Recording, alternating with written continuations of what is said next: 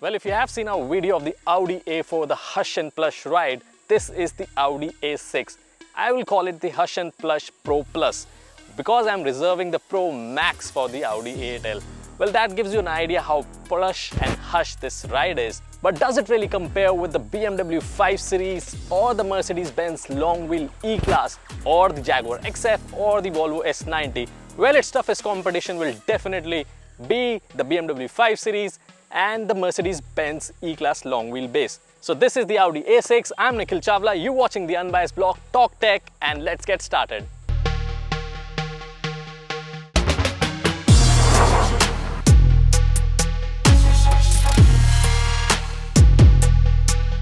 Up front you can see the huge grill. It's really really big. I mean if you thought BMW has big grills, just look at this. This is mammoth. All the chrome around the grill and inside the fins, everything is like chrome laden. The logos are chrome laden. Sharper edges all around the car now. It's The headlamps are new and they look really really nice. Be it the industry leading matrix LED lights or the ones that you have now on this ones, they are really really nice, sharper and definitely a delight to look at. The bonnet is bolder with these grooves over on the top. A lot of chrome detailing on the bumper. You can see this on the front and you can see the sensors running across. There's no front camera in this car but you do get park assist which really is helpful if you're trying to park this car because this is a long car. Now talking about the dimension, this car has grown in proportion. It's longer, taller and wider.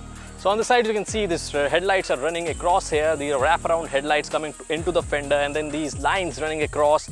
The wheels are big, they're 18 inches wheel and they're high profile tires. So they fill up the arches really well because this car can accommodate up to 22 inches of wheels but this one is at 18 inches and still there's a lot of space. And the good thing is they come with high profile tires. And how does it handle that? We'll talk about in the ride handling. The door handles and the side body look similar but it's longer now, wider now. And I do miss the handles of the A4 that goes up. This one is just straight like a regular handle. On the A4 they went up and that was really nice and you know gave a classy feel to it and differentiator. And similarly your ORVMs over here.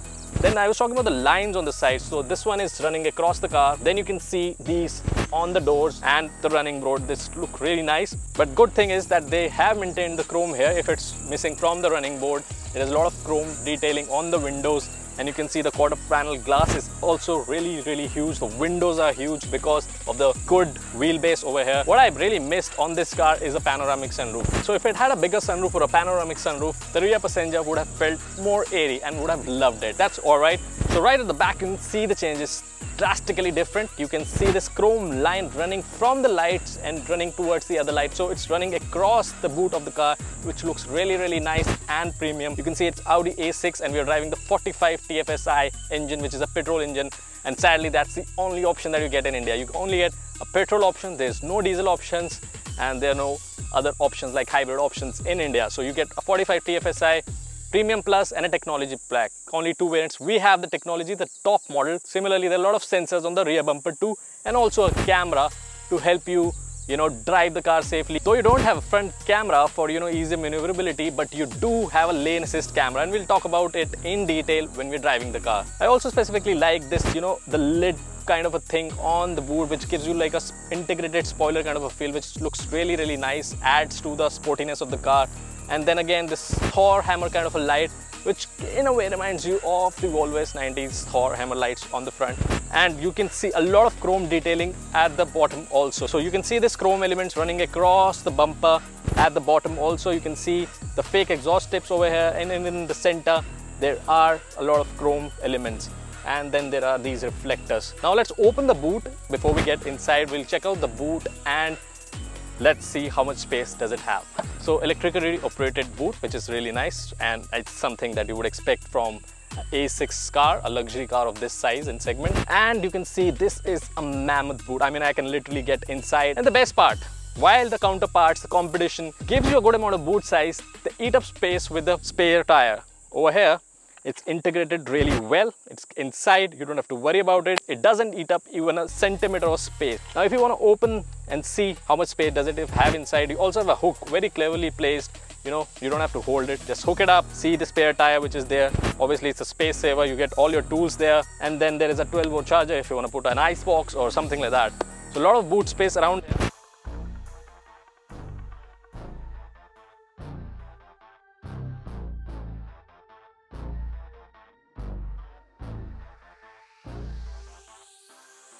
well, it's on the inside that you go, wow, it's just beautiful. It's completely new. It's so nice, so plush, so premium, and so much of technology. And as a technology enthusiast, I just love it. You know, the amount of screens you have, it's the maximum you will see in this segment. Already virtual cockpit screen right up front, the multimedia interface right here, and even a digital display for your aircon controls. So screens all over for you. Then this premium mix of piano black, this aluminium brushed around, this wood texture, vents running across the dashboard. It's just beautiful. I think Audi started this whole thing of the vents running across the dashboard and looks beautiful. And I seriously love how comfortable this car is to sit. It's like a plus sofa you're sitting on. It's just really nice, comfortable seating there. Then the center console is really very well placed you know your arm sits in the right place your gear level is right here. Really really well to do and then this space for you to keep your cup holders this lighter slot and also a slot for your keys which most of the cars lack. You have the armrest where you get the wireless charger. I've already put my phone there in the wireless charging. You, there's some space for you to keep your airpods and others. There are two usb ports and a sd card reader but you miss out on type c ports. There's no type c port in this car. So if you got the latest iphone and you got the type C cable with it you can't charge it you just have to go the wireless way. Then let's talk about the steering. This is really nice chunky steering very futuristic. You know this the way it's going and the design of the squarish elements here. I you know I just loved holding it from here also though it's not advisable but you know sometimes you're just sitting and you hold it. It's really really nice to do that. Then this wooden panel across the door and I love it how it, they've you know integrated the memory seat buttons in this silver panel. The buttons for the headlights are digital now. There's no knob. It's just like a digital touch button which says auto, you know, front, rear, and defogger. The only thing you know not digital here are the fuel gauge and the temperature. Above the virtual cockpit, you also has this little tiny display which shows if the seatbelt is on, if the you know parking brake is on. So all these are there. What I feel that the virtual cockpit of Audi has not grown over the years. You know, it hasn't progressed the way it should have been. I would have loved it to see more ways to interact with it. It's just the same two meters or you know the digital meters and the map. I think it's time for Audi to evolve. What do you guys think? You know, let us know in the comment section. Should Audi rework on the virtual cockpit because they were the first to bring it. Now it's time to you know take it to the next level, enhance this and bring the next version out. Though even though it's latest multimedia interface from the Audi and uh, the virtual cockpit's latest version, I think still something has to be done about it so that it feels more intrusive and more you know enjoyable now. First of all the multimedia interface is really slick and smooth and you can do everything through the touch. There's no way to manually control other than the volume control which is right here. So you can control volume switch it on and off. But other than that everything has to be done either by voice which is good because from the Audi A4 I think the A6 voice integration is better because you know I could ask the car to lower the temperature and all it got it in one go which was nice. The navigation is also nice. It has all 3d buildings and everything from india. It felt really nice in delhi.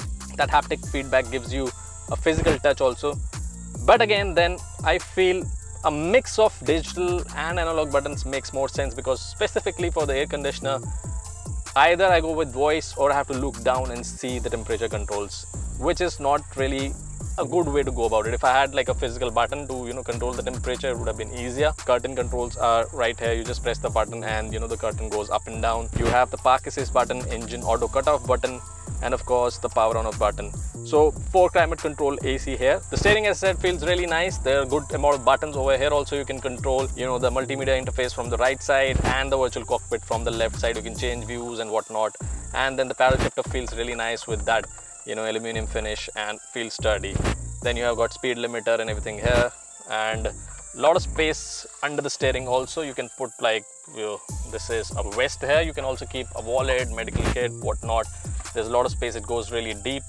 There's a lot of good space for bottle holders and a big glove box with light integrated in it and it is really big to be honest. Things that i feel are missing that really really turns me off are no sunglasses holder. I don't know why audi. Why? I mean how many sunglasses you want me to lose so there's no sunglasses holder. The roof is not panoramic, so only the front passengers enjoy the sunroof. Otherwise, you can't enjoy it at the rear, which is a sad part. One thing that blew me apart was the Bang & Olufsen speaker system. It is almost two dozen of speakers inside giving you orchestra sound. First of all, the car is so silent and when you add that Bang & Olufsen orchestra sound system, it's like sitting in an orchestra or concert hall and you're just enjoying the sound. I would advise not to get lost in it and keep safe. But then to keep you safe, there's also lane assist feature that we talk when we drive. So now let's move at the back and see what is and how it is at the back. So at the rear is where you're really most comfortable at. It's really, really nice plush and you can open the armrest. You can, you know, really put your arms here and you can, you know, have a cup holder. You can keep your stuff here. You can keep your phone here. A lot of space and you feel really comfortable. There's really good amount of headroom knee room and leg room and you can put your feet under the front seat. It's really really comfortable. Good detailing of wood and silvers running across here. Two ac vents at the back one in the center one on the pillars. So the air coming to you right where you need it. Also you have your own climate control for both the passengers. So you have your controls here.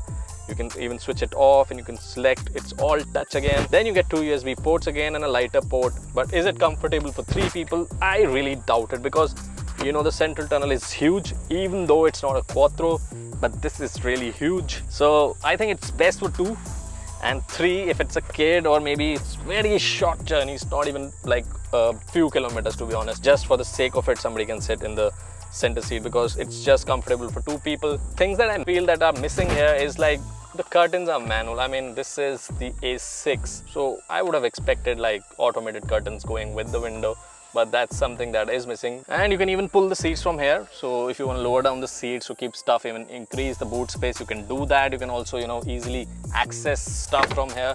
Both the seats can go down and you can even lock them with a key. So there are keyholes to you know lock those. I use a fixed seat comfortable seats lot of safety option of course a lot of airbags on it. So the front seats and the rear seats are both comfortable. So that's what you know balances out. This is a car that you can drive around in and you can sit at the back also. It's a very comfortable car in both the seats in all the four seats i would say.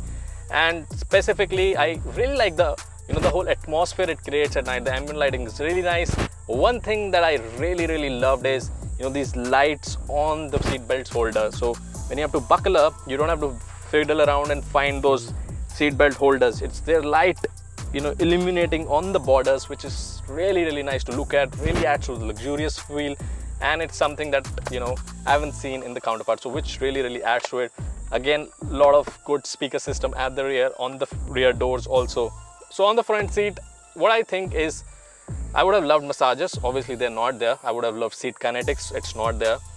And something very basic like you know extendable thigh support or a little bit of more thigh support could have been there but that is also missing that's the only down point of the seats in the front other than that i think it's a perfect seating position really nice to sit at and enjoy the car so now let's get out of the car and get driving and see what's under the hood so now let's start the drive of Audi A6 and see how it performs. I've already given you, you know, bits and pieces of how it drives and how it performs.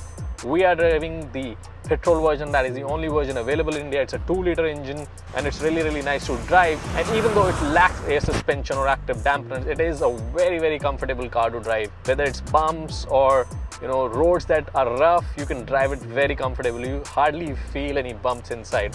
Right now also we are on a little rough terrain and there are a lot of bumps on the street but I'm sure you're not able to feel it or you can even not hear it because it's not even audible inside, it's so hushed. So there are two options, you can drive it in the drive mode or you can put it in sports mode and, and then you also have the Audi Drive Select option where you can select from different modes. The revs are getting harder in the sports mode and you can hear that grunt of the engine. Still very light but still you feel that the car is performing to the limits when you're in sports mode with dynamics activated. I usually prefer driving in drive mode unless and until I really need to test the car. I'm gonna go through a huge speed breaker and you will feel how different it feels when you're in an Audi. You know, the bumps are really subdued thanks to the great suspension. Though you lack active suspension or dampeners, but Audi has done a great job. And I think unless and until you rev it greater than 4000 RPM, you won't even hear the engine is running. It's so smooth and so refined.